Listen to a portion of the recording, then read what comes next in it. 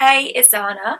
So I was debating what the hell to film today and if you noticed in my last video I've just kind of been going through some stuff so I haven't really been in the mood to film at all.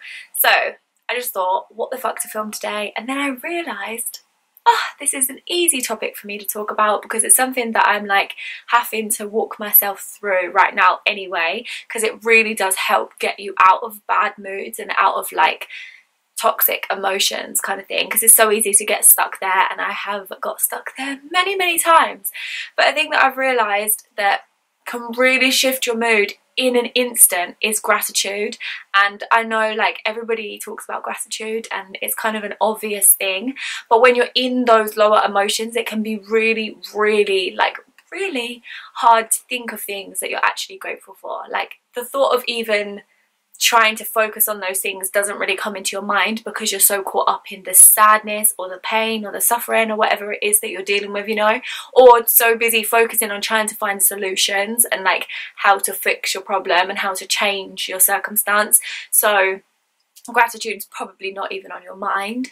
But when you take those minutes to just like let go of the physical world, let go of this person that you've come to be let go of like your surroundings in the physical reality and like literally go into your mind and hear the stories it's saying and then like try to bring it to things that you're grateful for and things that you appreciate and things that are going right and things that you do love it will change your life. Even when you're in a good mood if you go and do this like the level of spark that it ignites inside of you is crazy. And I'm speaking from my own experiences like it's just something that I'm noticing the difference of on the days where I don't do it where I don't think about things that I'm grateful for and I don't like affirm my gratitude.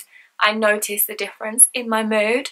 And also like you, once you start thinking of things that you're grateful for, it triggers a whole train of thought. You then think of more things. So like it dawned on me as well that of all the people that I could be, this is the vessel that I got. Like this is the life that I am here to live in this one lifetime, you know, like of all the people that you could possibly be, you get to be you, you know, because nobody else has the same vessel as you at all. Nobody, not even twins. They share completely separate vessels and they don't look exactly 100% alike, you know, like everybody has their own vessel with their own personality traits, their own ego, their own karmic lessons, their own flaws, their own everything, you know, and of all the people that you could possibly be of all the vessels that you could have incarnated into you know of all of the parents of all of the circumstances of all of the everything any possible any possibility that you can think of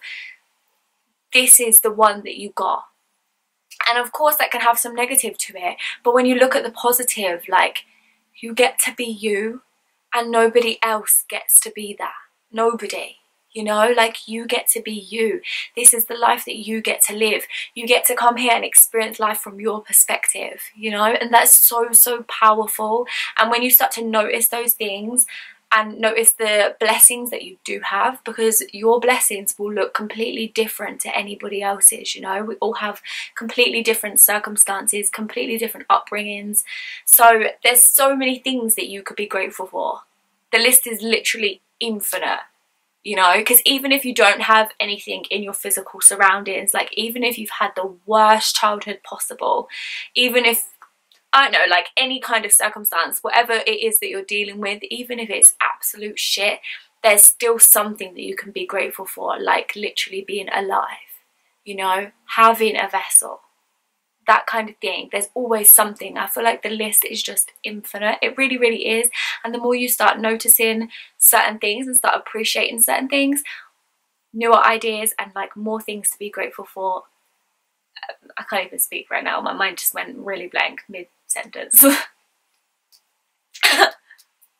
but the more that you pay attention to the things that are blessings in your life, the more that you start to notice even more blessings and then more blessings start to come in, you know, like it's such a cycle because your mind really does create your reality and it really does manifest things that you want. And of course there's things that you would want to change, like maybe you don't like your vessel, maybe you're not happy with certain circumstances, or maybe you didn't have a good relationship with your parents. Like, of course not everything is going to be completely perfect, but at the end of the day, like, this is all for you. It's all for a reason. It's all a part of your path and a part of your journey. And even when you can't see it, even when you don't understand why it's happening or what's going to happen next, like what the next step is, even when your whole life could be completely falling down around you, like everything is for you you know everything is literally for you. I can't even like express that enough because we all go through things and i can sit here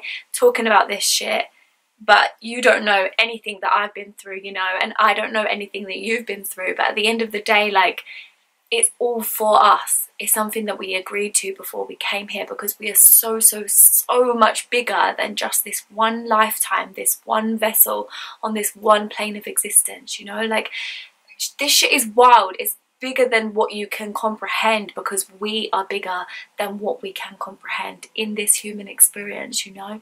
So, I know, I just think once you start to appreciate being alive and appreciate what you do have and appreciate who you actually are, like really loving who you are, your whole perspective, your whole outlook on your life will change and then you'll make better choices. Like you'll try to create the life that you do want. You'll feel confident enough in yourself to go after your dreams, which will be a completely different reality to if you stayed completely like unhappy and ungrateful you know then maybe you wouldn't make certain choices if you stayed in that mental state so it really does shift your mind and then that shit it really does shift your mind and then that shifts the action that you'll take you know?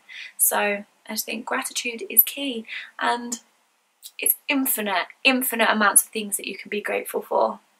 And I know it's really really hard to go there sometimes when you are suffering and when you are dealing with something negative but even if you just think of one thing the next thing will come to you because it just kind of spirals like that you know? So yeah, I just want to, I'm feeling quite grateful because I started my morning saying all the things I'm grateful for. So yeah, it just changes your outlook on life. So definitely start to do that if you're feeling a bit shitty and you need some kind of like thing to lift your mood.